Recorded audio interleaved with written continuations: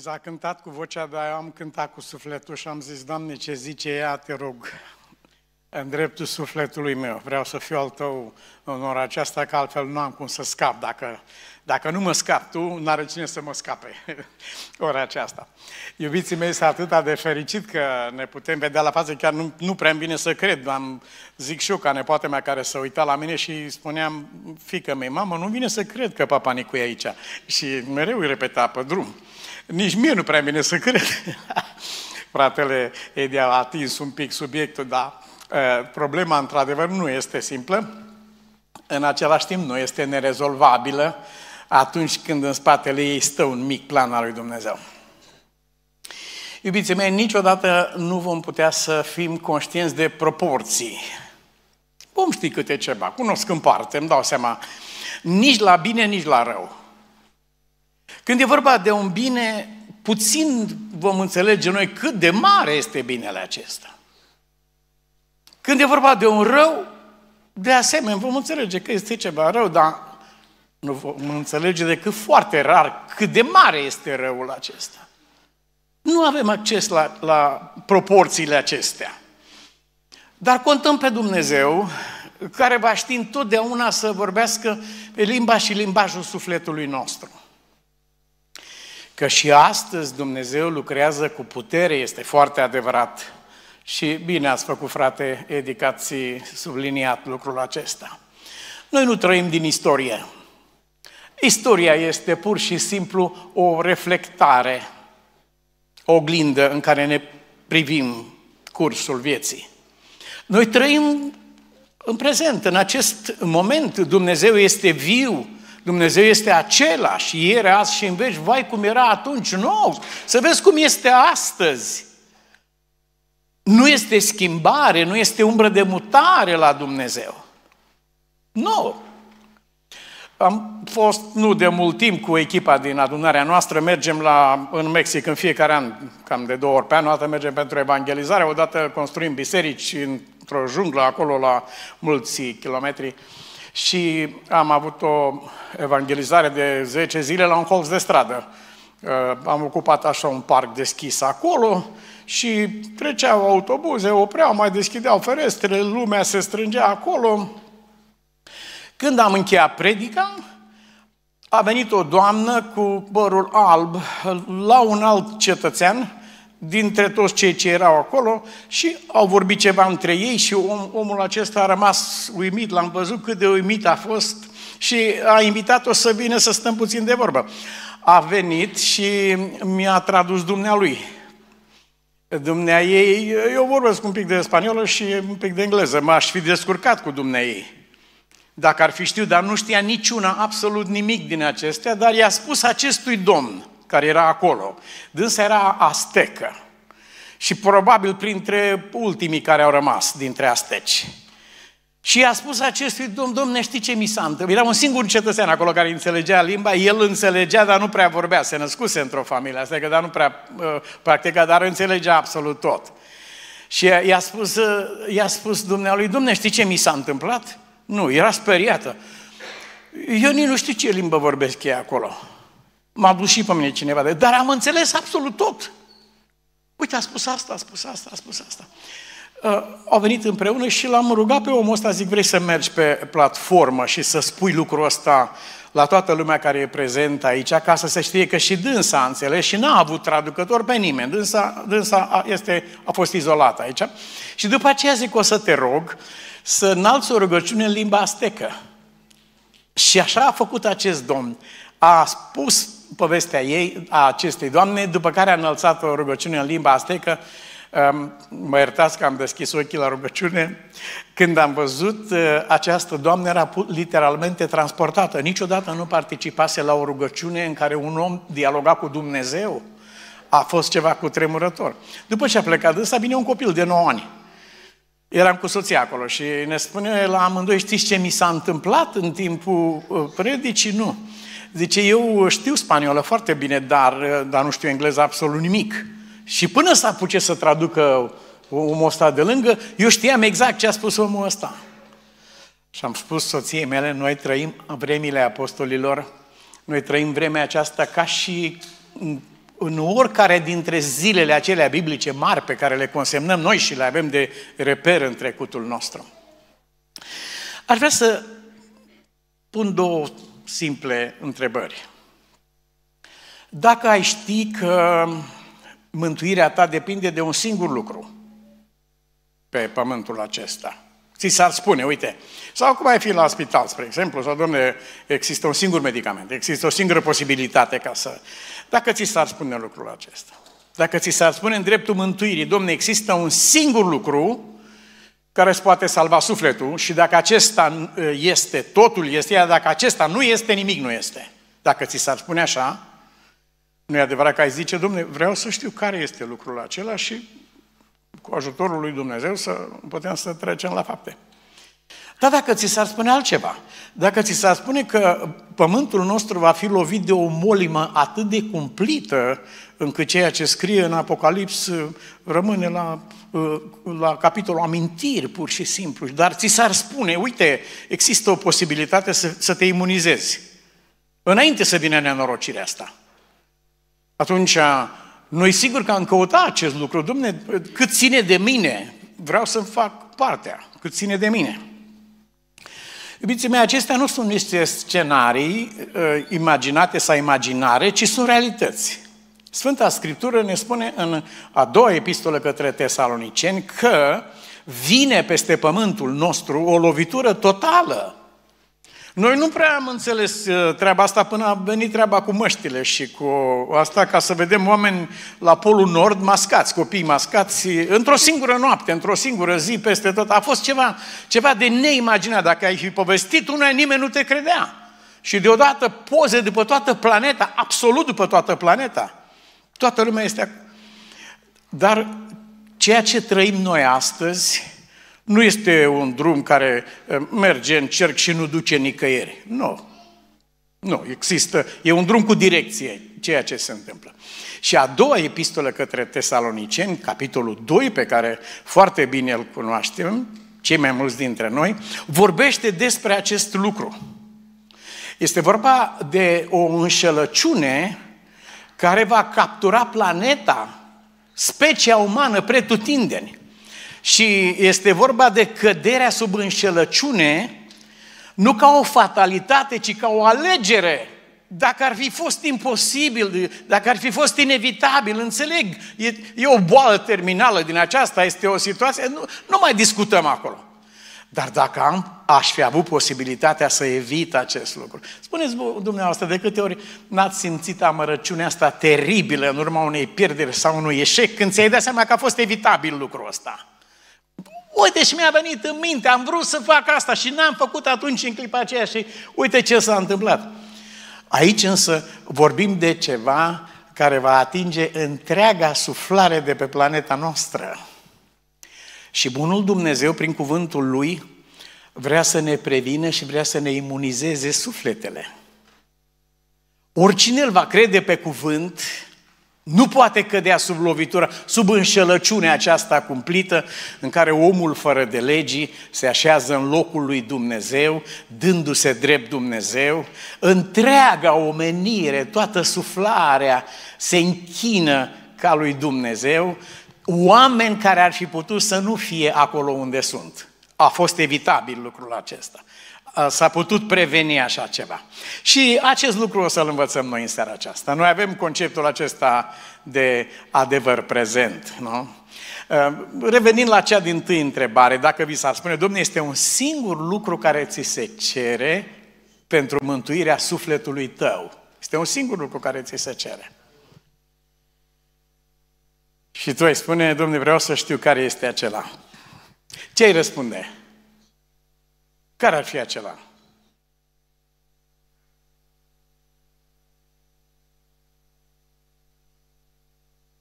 Adevărul?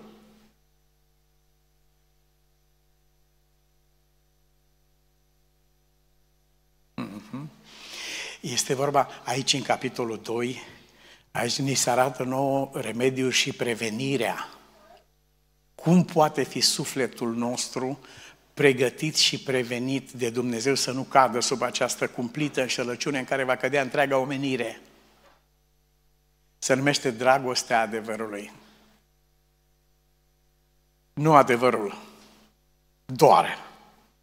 Simpla cunoștința adevărului, ia, e interesant, e frumos, e un rebus rezolvat, dar asta nu... Este vorba de dragostea adevărului. Acest lucru, pe care îl găsim scris în a doua tesalonicene aici, este pus în dreptul acestor oameni care își vor pierde sufletele. Care este cauza nenorocirii? Păi îi auzi în ce fel au fost înșelați? Nu, Uite cu ce mijloace tehnice, de ce mijloace s-au folosit pentru întreaga planetă, cum au aruncat un laț peste toți locuitorii pământului și i-au prins. Nu! Nu aceasta e problema. Biblia spune, sunt oamenii aceștia, sunt aici pentru că n-au primit dragostea adevărului. Nu contează înșelăciunea oricui și ce proporții ar putea avea acest lucru, ce metode, ce mijloace. Nu are nicio importanță pentru sufletul care a primit de la Dumnezeu darul acesta numit dragostea adevărului. Lucrul acesta nu, se, nu este o secreție a sufletului omenesc. Este o alegere, este un dar pe care îl dă Dumnezeu și în fața unui dar nu poți decât să te înclini sau să respingi. Acesta este darul, n-au primit dragostea adevărului. Ce este adevărul, a întrebat uh, omul nostru ca să se scuze, vroia să-și continue felul lui de viață. Ni se spune în același capitol 2 Tesaloniceni, de ce nu au primit dragostea adevărului acești oameni? Pentru că au găsit plăcere în nelegiuire. Și în momentul în care un om a ales lucrul acesta din plăcere, nu din din prostie sau din, din imprudență sau din ignoranță. Nu s-a întâmplat. S-a, a, omul a ales calea aceasta a răului din plăcere. Au găsit plăcere în nelegere. Îmi place acest lucru mai mult. Știți că este cazul acesta în Biblie în care împăratul Ahab discută lucrul acesta. Și el spune, ă, nu-mi place de profetul ăsta mica, de ăsta, de ăsta nu-mi place, nu-l aduce pe ăsta. Adu-i pe ăștia care îmi place de ei. Și știți că avem și noi în limba română o expresie, să sună cam așa, îmi place să cred că... Da. Da, poate să ne placă sau poate să nu ne placă, dar adevărul va rămâne neafectat de faptul că nouă ne place sau nu ne place un anume lucru. Este o chemare simplă pe care ne adresează Cuvântul lui Dumnezeu în această seară. Dincolo de concepte filozofice, demonstrații, am putea să stăm aici până săptămâna cealaltă. Nu aceasta este problema. Un singur lucru. Ai luat în sufletul tău hotărârea aceasta de a urma adevărul, indiferent unde te va duce. Ați văzut că în momentul în care chemarea credinței a pornit cu așa ceva? Când bunul Dumnezeu s-a adresat părintelui Abraham, nu i-a dat adresa unde va merge, cum am pus eu pe GPS și m-a dus aici. Nu. I s-a spus așa, ieși și mergi într-un loc unde care îți ți-l voi arăta. Ia pe fiul tău și mergi într-un loc. În care loc? Am să ți-l arăt. Când s-a uitat, a văzut locul de departe. Dar nu a pornit bazat pe o adresă. A pornit bazat pe Dumnezeu care i-a spus, ieși din casa ta și mergi acolo. Adevărul nu este o adresă. Adevărul este viața sufletului nostru și viața lui Dumnezeu. Dumnezeu nu este Dumnezeu pentru că este Dumnezeu. Ce să faci acum? Nu, Dumnezeu e Dumnezeu pentru că e adevărat lucrul acesta. Isus nu este mântuitorul pentru că este Isus. Este mântuitorul pentru că este vrednic să fie mântuitorul. Noi nu suntem în competiție cu uh, Mahomet sau cu Buddha sau cu Confucius sau cu... Nu există competiție în locul acesta. Vrednic este mielul, e demn pentru lucrul acesta. Pe motivul acesta. Și când bunul Dumnezeu vorbește despre adevăr, se identifică cu el. Pilat n-a primit, a plecat, n-a primit răspunsul și știți de ce? Pentru că întrebarea era foarte proastă. Dar era ea noastră, a tuturor. Noi, noi toți spunem întrebări. Ce este adevărul? Păi ce să spun când se bat oamenii ăștia de mii de ani pe pământ, tot felul de teorii și de...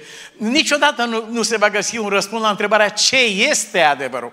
Întrebarea nu era aceasta. Întrebarea era cine este adevărul. Și dacă aceasta ar fi fost adresată, atunci s-ar, s-ar fi primit un răspuns. Eu sunt adevărul. Acela cu care vorbești tu acum este adevărul. Ce cine e, Doamne, ca să cred în El, zise omul acesta care a fost vindecat. Zice, cel cu care stai de vorbă acum. Au, da, Doamne, dacă ai cunoaște tu darul lui Dumnezeu, păi cine, Doamne, unde este? Na, este în fața ta, stă de vorbă cu tine în clipa aceasta. Acest lucru este legat și este viața și sufletul credinței noastre pe pământ. Sunt două lucruri care stau la temelia mântuirii noastre. E adevărat că dacă ne uităm, sunt biblioteci întregi scrise. Am fost într-o bibliotecă, amețeai când te uitai, nesfârșite mii, zeci de mii de volume. Mergeai pe străzi de cărți și dar este, aici sunt două lucruri absolut simple pe care le redă cuvântul lui Dumnezeu. Mergem în, în versetul 13 din 2 Tesaloniceni. Și aici sunt spuse cele două lucruri care condiționează mântuirea sufletului nostru. Și ele sună așa. Noi însă, frați prea iubiți de Domnul, trebuie să mulțumim totdeauna lui Dumnezeu pentru voi, căci de la început Dumnezeu v-a ales pentru mântuire, numărul 1, în sfințirea Duhului. Nu în sfințirea manierelor sau comportamentului sau uh, persoana care merge într-o sală de jocuri de noroc, uh, să uitați, uh, sărmana s-a uitat în dreapta, în stânga și s-a întâmplat ca alții care erau aproape de, de sală au văzut lucruri. Nu era vorba de sfințirea manieră. A doua zi au judecat-o și au spus, zice, nu, nu avem, nu e o problemă că s-a dus la jocuri de noroc, dar zice să ne răspundă acum de ce s-a uitat în dreapta și în stânga înainte să intre aici. Uh, nu e vorba de uh, acest fel de schimbare, ci este vorba de sfințirea Duhului, adică a intenției, a sufletului, a profunzimilor ființei noastre. Încercăm să corectăm întotdeauna cuvintele, gesturile, comportamentul, când de fapt izvorul trebuiește uh, sfințit de Dumnezeu în sfințirea Duhului și doi, credința adevărului. Aceasta este mântuirea. Dumnezeu v-a ales pentru mântuire dacă ați ales credința adevărului.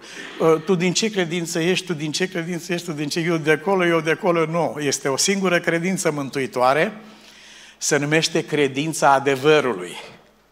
Și acolo unde tradiția mea ar intra în conflict cu această credință a adevărului personificat în Isus, eh, voi fi la o bifurcație în care voi alege un drum și cu aceasta voi alege o destinație. Noi însă, frați prea iubiți, trebuie să mulțumim lui Dumnezeu.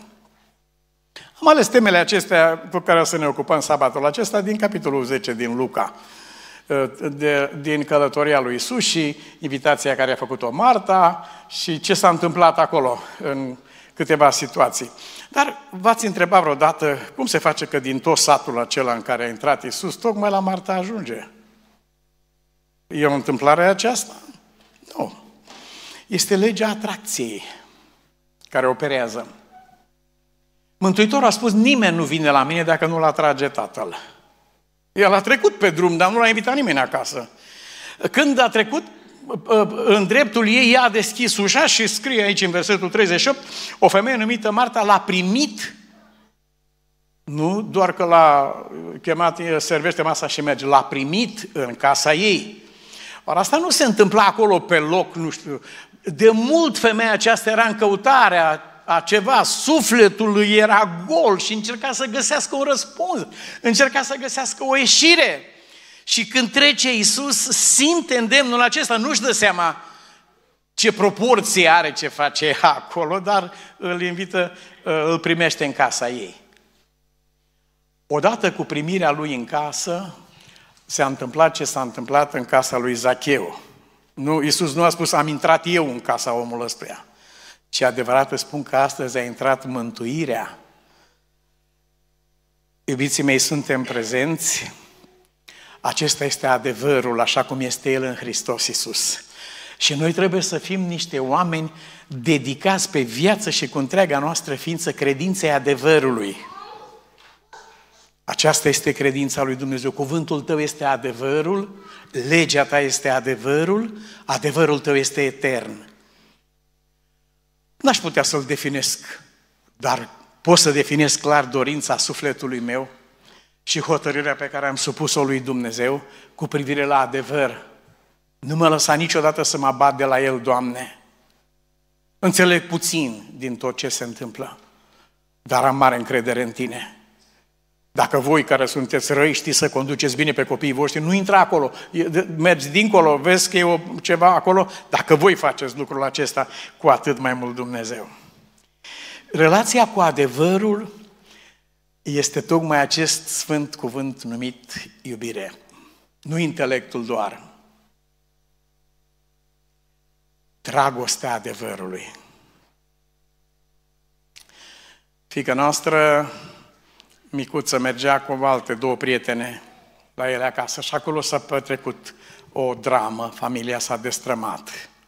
Ea a fost martoră când s-au dat niște telefoane și s-a gândit în sufletul ei de grădiniță, Doamne Dumnezeule, dacă și la mine acasă va întâmpla la fel. Și de mila fetelor acestora, două care le-a văzut sfâșiate, pur și simplu, m-a întrebat, stătea pe bancheta din spate în mașină, o duceam la școală, Uh, m-a întrebat cu o îngrijorare care nu e caracteristică și n-ar trebui să fie pe chipul unui copil niciodată așa ceva. Și totuși ea era profund afectată. S-a uitat la mine și m-a întrebat, tată, who's your best friend? Cine e cel mai bun prieten al tău? M-a întrebat aceasta pentru că tatăl celor două prieteni ale ei n-ar fi putut răspunde la această întrebare transparent. Și ea s-a gândit poate și la mine acasă. Și eu i-am spus, uh, it's the Lord, este Domnul, cel mai bun prieten al meu. Și ea a zis, yeah, dar from among humans, dintre oameni, m-a întrebat ea, cine e cel mai apropiat? Și zic, mama este. Mama este prietenul meu cel mai apropiat. Și i s-a desfăcut sufletul de bucurie și repeta singur în spate, Your wife to be your best friend. Repeta, soția ta să fie cel mai bun prieten al tău.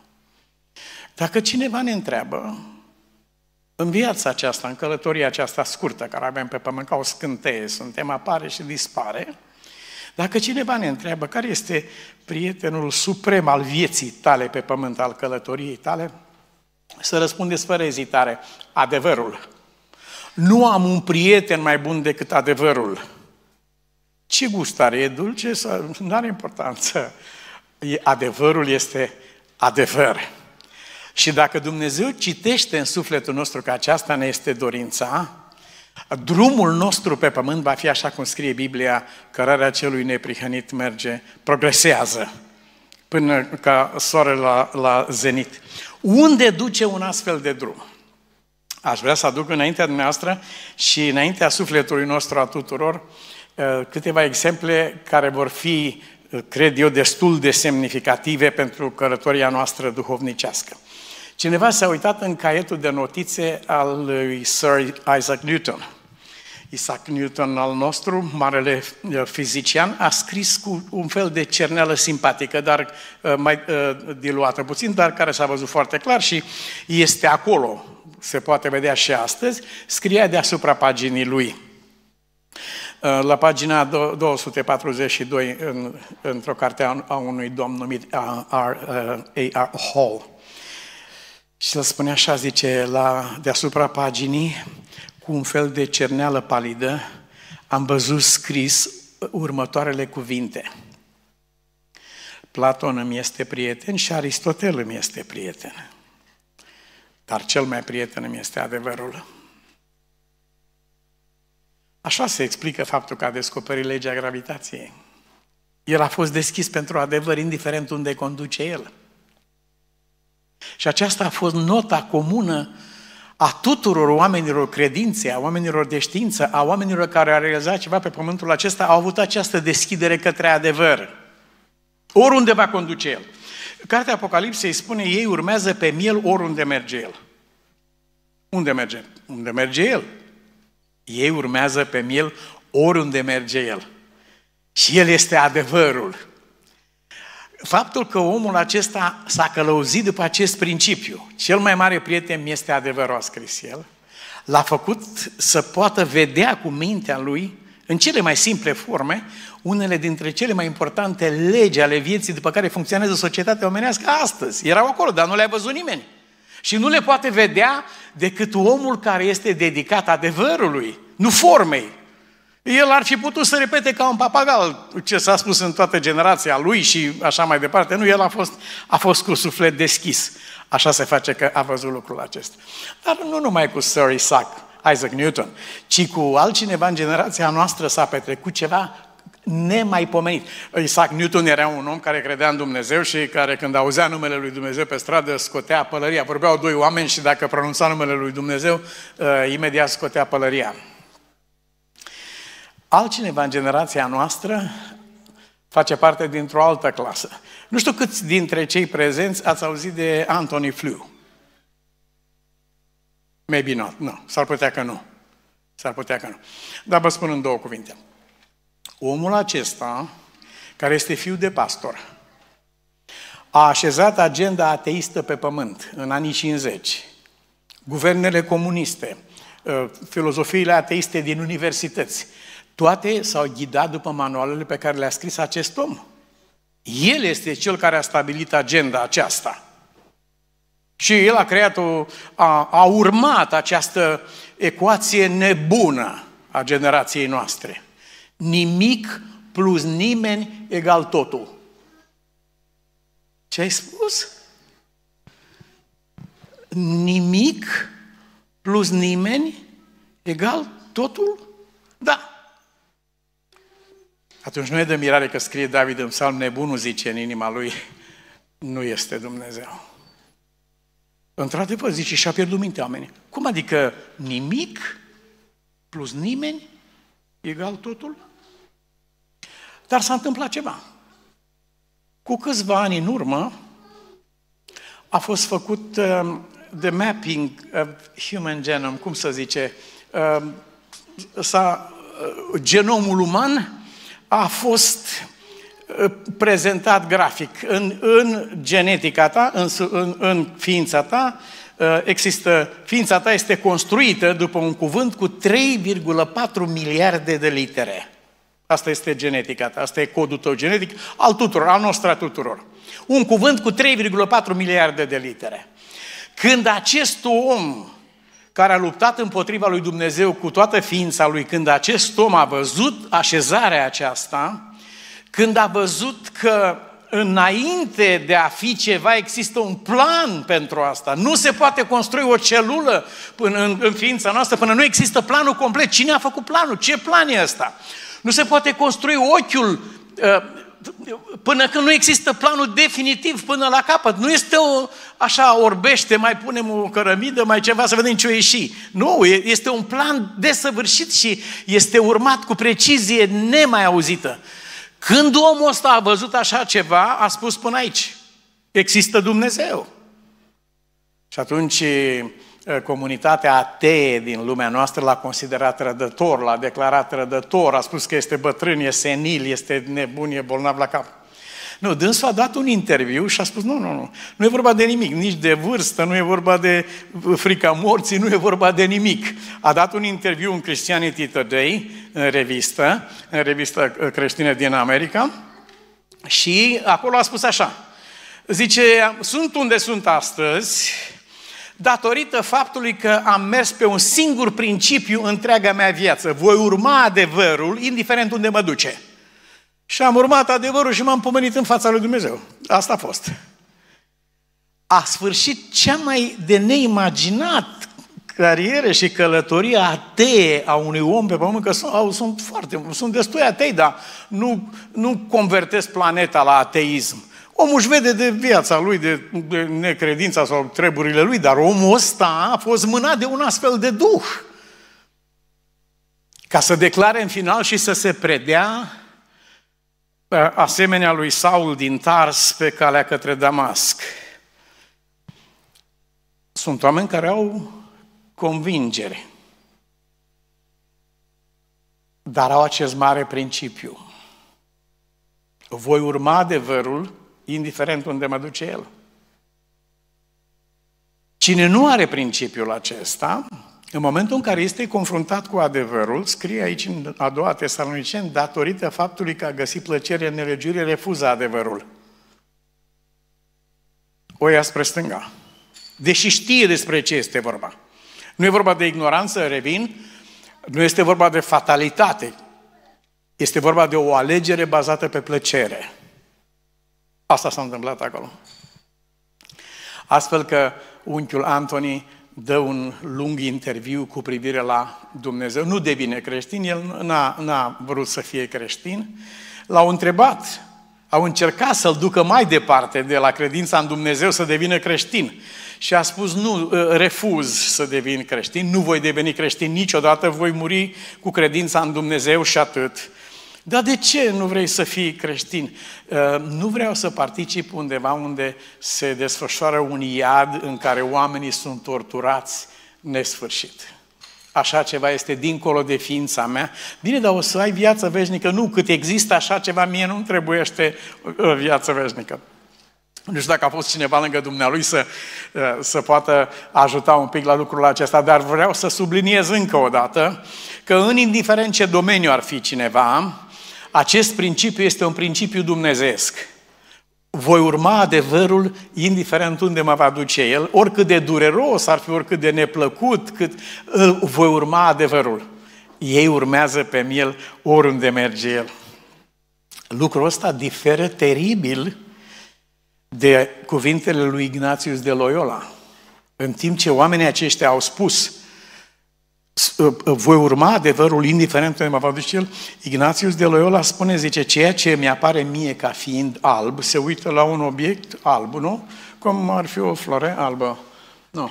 Ă, ceea ce mi apare mie ca fiind alb, voi crede că este negru. Dacă biserica ierarhică îl va defini ca negru, biserica va spune, nu, ăsta este negru. Și atunci el spune, zice, eu văd alb, dar dacă biserica zice că e negru, eu văd că omul ăsta nu urmează adevărul, oriunde merge el.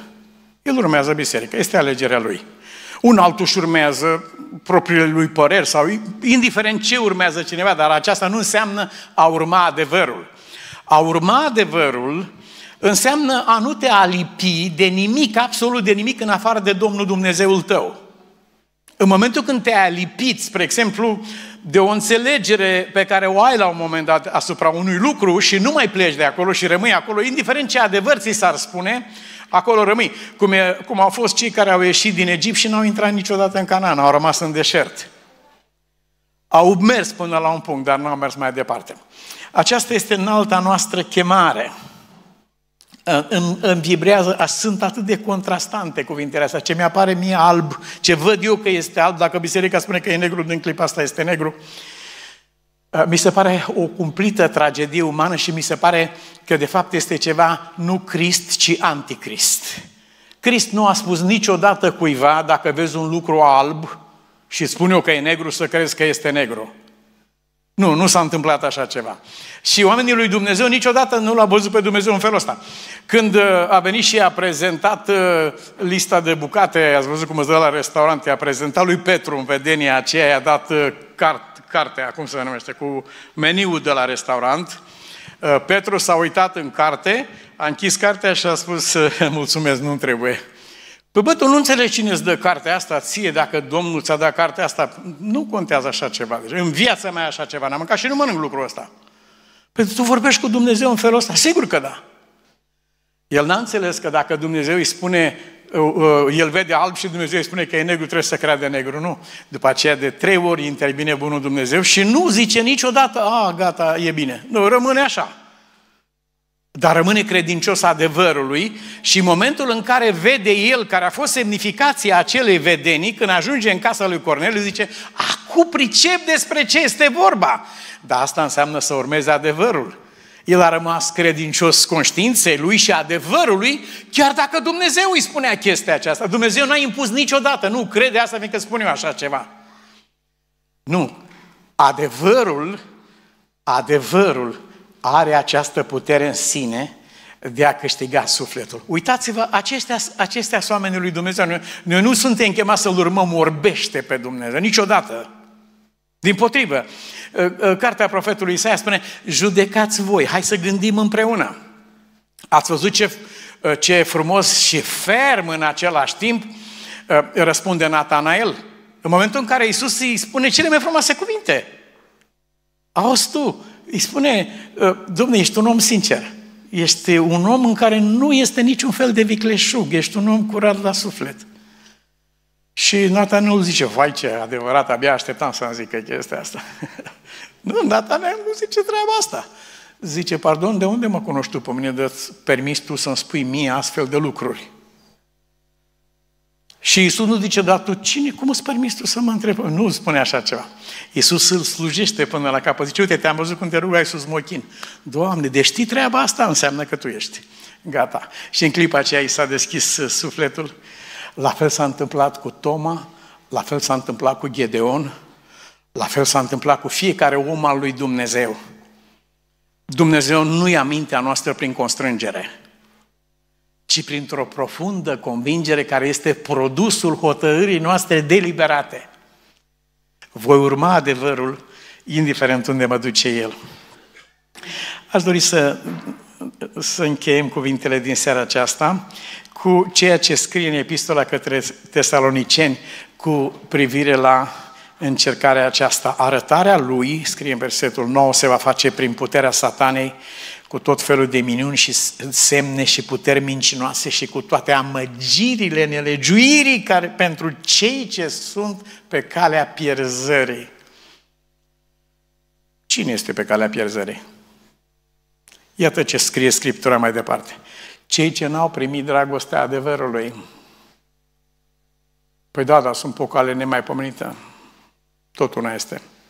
În momentul în care sufletul tău n-a luat hotărârea aceasta să urmeze adevărul până la capăt, indiferent unde duce, spune Biblia, ei sunt pe calea pierzării. Pentru cei ce sunt pe calea pierzării, pentru că n-au primit dragostea adevărului. Nu că n-au înțeles, nu că n-au putut să înțeleagă, ci n-au primit. E cu totul și cu totul altceva. N-au primit dragostea adevărul. Din cauza aceasta, uh, zona aceasta gri nu există. Sunt mulți oameni care, eu nu prea sunt, eu stau așa mai la distanță, sunt cam pe frontieră, nu mă, nu mă complic, nu mă combin. Eu, nu, nu există zona asta. Zona aceasta nu există. În momentul în care ai respins adevărul, în aceeași fracțiune de secundă, adică simultan de fapt, accepti neadevărul. În aceeași clipă. Lucrul acesta este puțin înțeles în, în viața noastră astăzi, dar versetul acesta 11 face clar lucrul acesta. Oamenii aceștia care au respins, n-au primit dragostea adevărului, ce au spus, nu, pleacă de la noi, au spus gadarenii. Noi avem afaceri cu porci, cu chestii, nu ne combinăm noi cu tine. Uite ce au sărit porci mare. Du-te în drumul tău pleacă de la noi. Biblia spune, Iisus s-a retras din locul acela. Oamenii aceștia n-au primit, li s-a oferit, n-au primit dragostea adevărului. Nu mă interesează adevărul.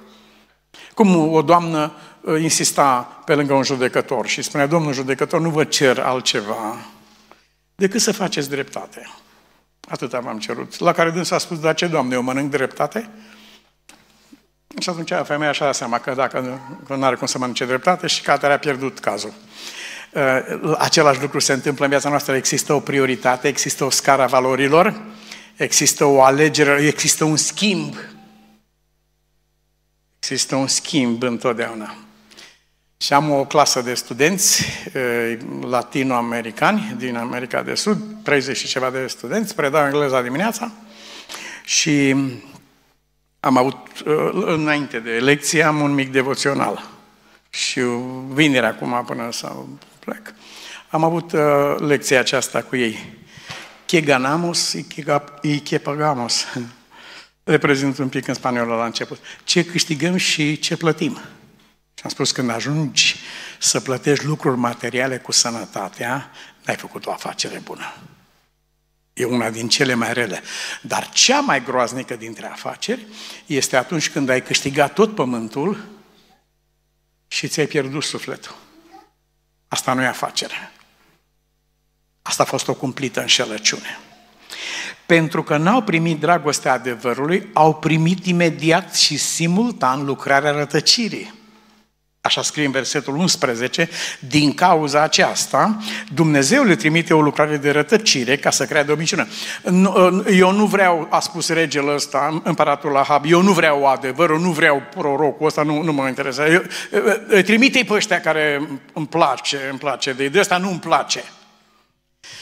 Iubiții mei, scrieți în carnețel, adevărul nu este în ochiul care privește.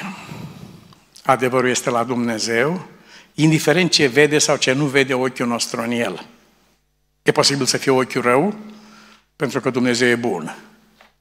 Scrie Scriptura mai departe, pentru ca toți cei ce n-au crezut adevărul, ci au găsit plăcere în nelegiuire, să fie osândiți. Ieremia, capitolul 1, tu singur te osândești, nu te-a osândit nimeni. Tu singur te străpungi cu ceea ce ai ales.